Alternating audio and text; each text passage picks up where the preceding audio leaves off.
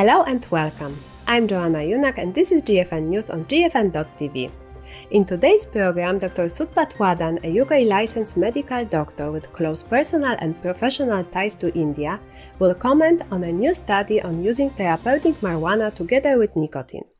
The study examined nicotine use among customers at a medical marijuana dispensary and found that close to 40% of these medical marijuana users also use nicotine. We asked Sud Patwardhan, a UK licensed medical doctor, what he thinks about these findings. Thank you, Sud, for joining us. Can you give us your thoughts about this study? Well, look, this is not surprising. It's been very well documented over decades that there is a tendency among those using substances or abusing substances to also use other substances at the same time. So there is no surprise there, and the authors also very clearly acknowledge that. I think the big finding here is uh, specifically about the use of uh, cannabis that's used uh, as part of uh, you know cannabis used for therapeutic purposes, as they call it CTP in this in this article by Steinberg et al. And the interesting finding there, and I'm going to read from the uh, the sort of summary of what they've done so that I'm not missing out on anything, is that users of CTP, the, the cannabis uh, that's used for therapeutic purposes, are more likely to use nicotine products than the general population. Again, as I said, uh, that's been already known for just cannabis smokers in the past, but in this case now they're documented that for cannabis for therapeutic purposes users. And, and the route of administration, and this is where it gets very interesting, I think, the route of administration of nicotine products is related to the route of administration of CTP. So uh, what they're saying is that if aerosolized CTP, which is uh, they're using it as a vape, uh, that's being used by them. What does that mean in terms of them using vapes for consuming their nicotine as well? And, and that makes for a very interesting kind of correlation that they're trying to draw from that and, and it makes for some very new insights into user behavior. And also, what does this mean in terms of the staff in the dispensary where the cannabis for therapeutic purposes is administered? What does it mean for them to be able to advise their, their users or clients uh, uh in this context from a harm reduction point of view? Does this use of vape cannabis products have implications for current users of combustible tobacco who are looking to quit smoking? I don't think they're going into the discussion about whether cigarette smokers, that is, smokers of combustible tobacco, should or should not be getting into uh, or should not be using uh, CTP in this case, uh, cannabis for therapeutic purposes, for quitting combustible tobacco. I think the point they're trying to draw at as is about the, the poly use, or at least the use of different substances by the same user. And here they're saying that if that user has used cannabis in the past, smoked cannabis in the past, and is now using cannabis in a vape form, how do you then start drawing parallels in the same user who has been smoking combustible tobacco and now potentially vaping instead of smoking? and uh, and and that's where the kind of uh, the thinking is going in the article uh, if i was to interpret it that way so the, to answer your question it is not about whether combustible tobacco smokers should be now switching to uh, vape cannabis. Of course not. I think that's not what the article is talking about. Uh, as a medical doctor i would not start getting into this very complex topic by saying that one should be substituted by the other. Um, these are substances that can be used, misused, and we know the effects of these products. So the point here is that if one is a smoker, as in inhaling combustible uh, form of that product, be it cannabis or tobacco, for sure there is logically based on the chemical profile of what is being created if you don't burn it, but actually aerosolize it. What is the likely chance of that making it less risky? And in this case, they're talking about, well, if a smoker of cannabis is switching to vaped form of cannabis in these clinics, wouldn't it be logical also to support these if they are smokers of combustible tobacco as well? Wouldn't it be logical to support them to also use vaped forms of nicotine and not combustible forms of tobacco? According to the results of a recent Gallup poll, more Americans smoke marijuana than tobacco. Why do you think marijuana use has overtaken tobacco use in popularity? So let me try and answer this with the knowledge I have about this. There was a very interesting paper by Hall and Kozlowski a few years ago, and I would love to pull it out, and uh, perhaps we should have that as a separate conversation. But what it was talking about is how perception and usage of, uh, if I was to remember this uh, correctly, perception and usage of marijuana over the decades and the uh, and the legal frameworks for allowing such use uh, as we know in, in many states across the US uh, more than 20 states cannabis is now either legal medically uh, allowed to be used or even in, for recreational purposes now this is very interesting in the context of how tobacco control and tobacco use has evolved and uh, that paper talked about this this sort of how the trajectories of uh, these products, their use, their regulation, and public perception has changed over the decades. So, to answer specifically on um, which one is more prevalent now versus 5, 10, 15, 20 years ago, I think more importantly, one should understand, and this is where public health, I believe, uh, really struggles globally. Uh, so, I'll make two points here. One is public health. In the interest of public health, uh, in the interest of the health of the public, if I may say, uh, should look at not single drug or substance use and abuse. Uh, poly use of substances has been well documented over years and people mix and match various substances for various purposes. These are all very addictive substances. Let's not get that wrong at all. Let's not forget that.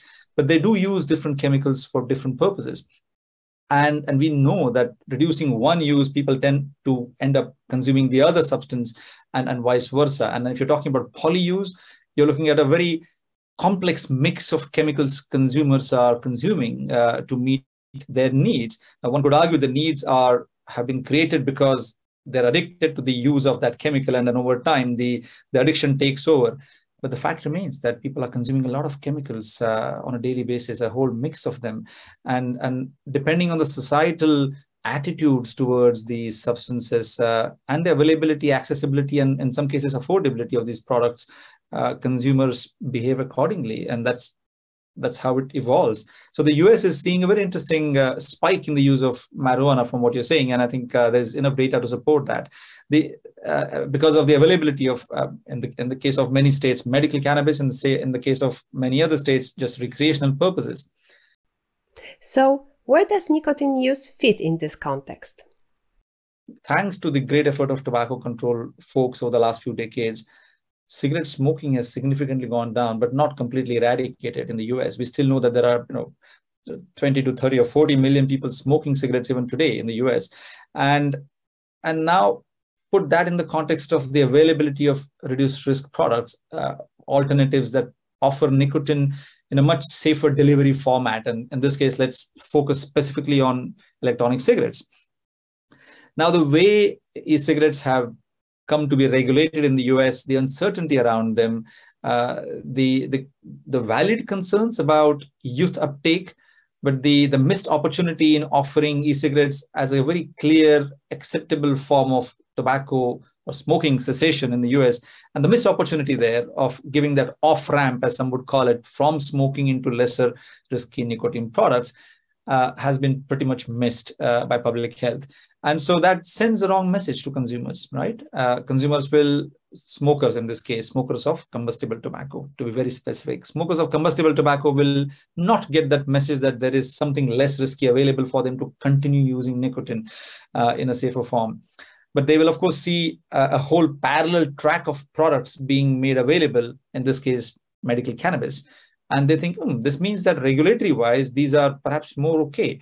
And that may just be a perception that may be sort of trickling into the into the into the masses. And they start believing that this may be perhaps okay. Um, the the good news about this article let's let's kind of zoom out a bit if i may. The good news from this research group dr steinberg and company uh, at rutgers i think they're doing some phenomenal research.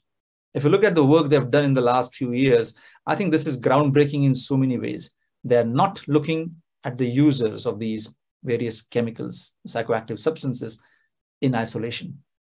They're looking at the use of these uh, risky products uh, as, a, as a whole uh, in a sort of more holistic fashion. And, and they're also then sort of overlaying that on, uh, what is the role of healthcare providers or, or service providers, in this case, uh, the staff at the clinics where medical cannabis is available? What is the role of service providers, healthcare practitioners in advising their users or clients or patients uh, on, on what choices to make? And so this sort of reminds me of another paper that Dr. Steinberg and company did uh, last year, and and that has that was a validation of what we found in our work, uh, what I've done over the last decade, in the UK, Sweden, and India. And that paper was talking about perceptions about, or misperceptions rather, about nicotine among healthcare professionals. And uh, it highlighted that you know, between 70 to 80% of the, the doctors that they had surveyed in that study and 1,000 plus people they had looked at thought that nicotine in tobacco products causes cancer, which it doesn't, as you know. But that very fact that uh, there is such level of misperception among experts means that they are not in a position to advise their patients or their customers, their clients, whatever you want to call it in the context of where they're operating. It is difficult for them to give proper advice to their patients or to their users. Now, this we found, I want to th- then connect this to what we are doing in India recently, where we're working with mental health professionals. And there is a huge uh, problem with substance use, mostly opiate related problem in the north northern parts of India. And I was working with some of the work psychiatrists working in some of these clinics, and we wanted to raise their understanding of tobacco cessation, tobacco harm reduction. And repeatedly, we would get pushed back by them saying, you know what, but tobacco use is not the problem. The problem is the opiate use. And we said, yes, of course, if that's what you're there for, you will focus on that. But let's not forget that many of these users are also tobacco users. And as we know, mental health patients, uh, for example, in the UK, we know those who consume tobacco, they die 10 to 15 years earlier than the general population, not because of their mental health condition. They die sooner because of their, in many cases, tobacco related diseases and harm. So, not acknowledging and not addressing tobacco use in those who abuse substances such as opiates uh, is a missed opportunity. And uh, the work that uh, this paper that you're referring to and the group that's doing this research is trying to kind of zoom out of single use issues, but also sort of saying, how does this, what does this mean for the patient, for the user?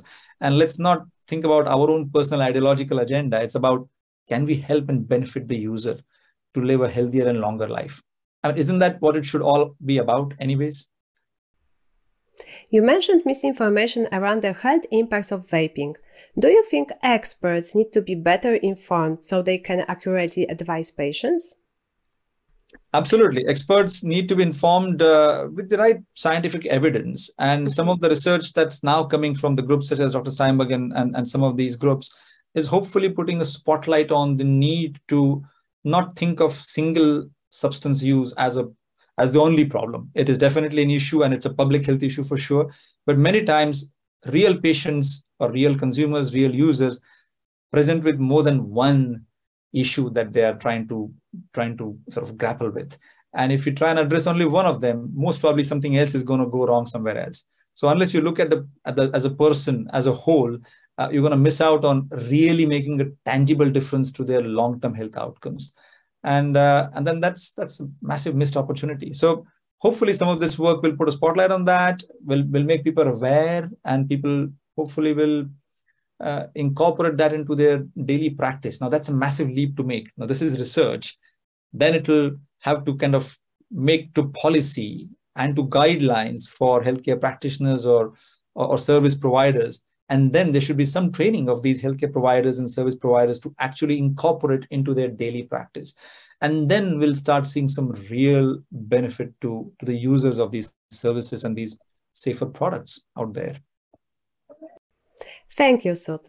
That's all for today. Tune in next time here on GFN TV or on our new podcast for more tobacco harm reduction updates. And on Thursday, Will Godfrey of Filter will tell us about a recent speech by Brian King, the director of the FDA Center for Tobacco Products. Thanks for watching or listening. See you next time.